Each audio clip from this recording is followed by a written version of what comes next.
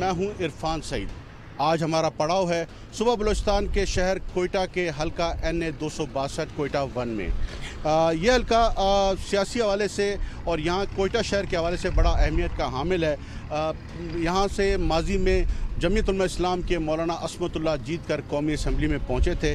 वैसे तो इस हलके की ख़ास बात यह है जहाँ पर इस वक्त मैं मौजूद हूँ ये मगरबी बाईपास है।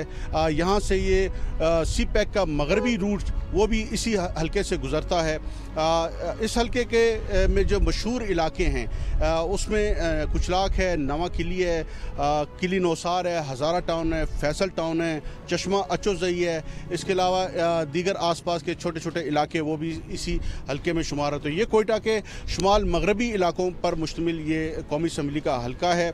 आ, इस हल्के के मसाइल सेवरेज के हैं पीने के साफ़ पानी है रोड कनेक्टिविटी का है हेल्थ के इशूज़ हैं तालीम के बहुत बड़े इशूज़ हैं। तो उस पर हम बात करेंगे यहाँ के जो वोटर्स हैं शहरी हैं उनसे बात करेंगे। यहाँ वोटर्स की जो कुल तादाद है दो लाख इकतालीस हज़ार चार सौ है जिसमें जो मर्द वोटर्स की जो तादाद है वो एक लाख तरतालीस हज़ार है, जबकि इसी तरह ख़वान वोटर्स की जो तादाद है वह सतानवे हज़ार सात सौ तीस है। गुज्त दो हज़ार अठारह के इंतबात में जे यू आई के जो उम्मीदवार मौलाना असमतुल्ला कामयाब हुए थे, उन्होंने चौदह हज़ार आठ सौ सतासी वोट हासिल किए थे जबकि उनके मद्द मुकाबिल बी एन पी मैंगल के मलिक अब्दुल वली काकड़, जो कि गवर्नर बलूचिस्तान, अब भी हैं वो उनके मद्द मुकाबिल थे, उन्होंने दस हज़ार इकहत्तर वोट हासिल किए थे।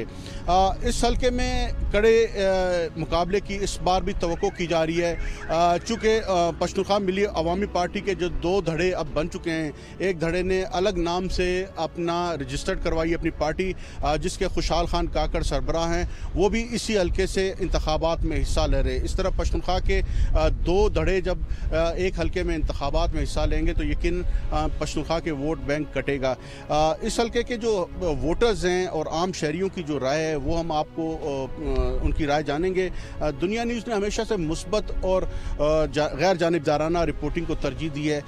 इसी वजह से आज हम मौजूद हैं हल्का एन ए दो सौ बासठ में, जहाँ पर हम आवाम की राय जानेंगे कि उनके मुंतखब नुमाइंदों ने उनके लिए क्या किया।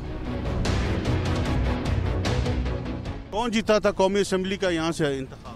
इस इधर कौमी असम्बली का तो जमीयत वाले जीते थे तो हमारा जो एम पी है वो मलक नीम बाजई था मिनिस्टर तो उसने तो काम किया हुआ है इनशाला इस इलेक्शन में भी वो कामयाबी कौमी असम्बली का भी एक हल्का है बड़ा इम्पोर्टेंट हल्का है किसको वोट देंगे यार इनशाला ताला इस बार एन पी को देंगे किसको वोट देगा छोटा वोट मलक नईम साहब को देगा बड़ा वोट किसी को भी नहीं देगा क्यों नहीं देगा? पर नहीं देगा। वजह क्या हुआ? है वो जो है ना वो हम लोगों का काम का नहीं है। वो इस्लामाबाद में बैठ करके हम लोगों के पर उसको पता भी नहीं है कि कहाँ पे जो है ना ये लोग बैठे हुए हैं।